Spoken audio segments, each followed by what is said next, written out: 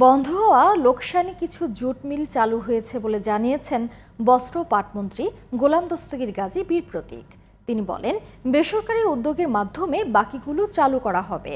রোববার রাজধানীর মতিঝিলে করিম চেম্বারে পাঁচ দিনের পাট পণ্য মেলার উদ্বোধন করে তিনি বলেন, পোশাক খাতের মতো পাট পণ্য রপ্তানি করে বৈদেশিক মুদ্রা আয় সম্ভব। পাট শিল্প রক্ষায় উদ্যোক্তাদের এগিয়ে আসার আহ্বান জানিয়ে তিনি বলেন, তাদের সব ধরনের সুবিধা দেবে সরকার। এদিকে উদ্যোক্তারা বলেন, সহজ শর্তে এসিমি থেকে ঋণ না পাওয়ায় দেশে পাট পণ্যের বহুমুখীকরণ এখন বড় বাঁধা। বিস্তারিত তৌহিদ রানার রিপোর্টে। রাজধানীর মতিঝিলের করিম চেম্বারে পাঁচ দিনব্যাপী বহুমুখী পাটপণ্য মেলার আয়োজন করে জুট ডাইভার্সিফিকেশন প্রমোশন সেন্টার।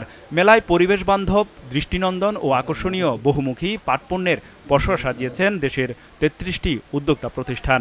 উদ্বোধন করেন বস্ত্র ও পাটমন্ত্রী গোলাম দস্তগীর গাজী বীর প্রতীক। ঘুরে দেখেন মেলার বিভিন্ন স্টল। এ সময় তিনি বলেন, বিজিএমসির অধীনে থাকা পাটকলগুলোতে হাজার হাজার কোটি টাকা লোকসান গুনতে হয়েছে। সেই লোকসান থেকে বের হতে বেসরকারি খাতে দেয়া হয়েছে কারখানাগুলো। প্রাইভেট সেক্টর প্রায় দুশো প্রতিষ্ঠান তখন হয়ে গেছে। তারা কীভাবে কম্পিটিশনে চলে গেল?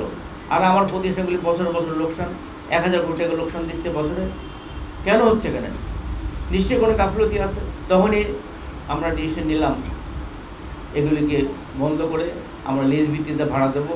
এই পঁচিশটা মিলকে বন্ধ করে তাদের অবসরের সমস্ত টাকা পরিশোধ করে আমরা তাদেরকে অবসরে দিলাম। গার্মেন্ট সেক্টর পুরোটাই hundred percent private sector hundred percent private sector বলে আজকে এইটি ফাইভ পার্সেন্ট তাদের গ্রুপ এইটি ফাইভ তারা সবচেয়ে সবচেয়ে বেশি ফরেন কারেন্সি আর্নার কিছু কারখানা চালু হয়েছে জানিয়ে তিনি বলেন বাকিগুলো শিগগিরই চালু হবে। আজকে আমরা আমাদের মিলগুলিকে লিজের ভিত্তিতে আমরা দিচ্ছি অনেকগুলি লিজ কতগুলি চালু হয়েছে আর কয়েকটি চালু হওয়ার পথে আছে। সেগুলি আমরা ইনশাল্লাহ খুব তাড়াতাড়ি চালু করে দেবো। শিল্প রক্ষায় উদ্যোক্তাদের এগিয়ে আসার আহ্বান জানান বস্ত্র ও পাটমন্ত্রী। এই বড় মূল্যের বড় বড় উদ্যোক্তাগুলি আমরা বড়দের সহযোগিতা করব এবং ছোট ছোট উদ্যোক্তাদের আমরা অন্যভাবে সহযোগিতা করব। এই জন্য আমাদের আমাদের প্রাইমারি কাজ হচ্ছে তাদেরকে মেলা ওপেন করে দেওয়া। এই দুটো বছর আমরা এখানে মেলা করতে চাইছিলাম কিন্তু এত ভাড়া চাইছিলাম মেলা মেলা করতে পারিনি।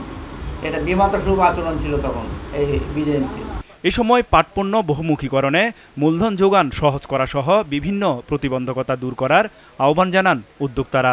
পাটের আমাদের রোপণ ক্ষমতাটা ইয়ে বৃদ্ধি করতে হবে আমাদের।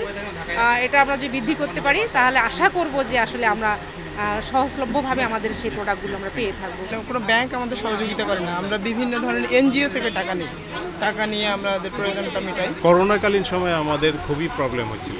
ওই সময় মনে করেন কোনো ব্যাংক কোনো আর্থিক প্রতিষ্ঠান কেউ আমাদের দিকে আগে আসে নাই। পাঁচ দিনব্যাপী এই মেলা চলবে প্রতিদিন সকাল দশটা থেকে সন্ধ্যা ছটা পর্যন্ত। Tauhid Rana GTV news Dhaka.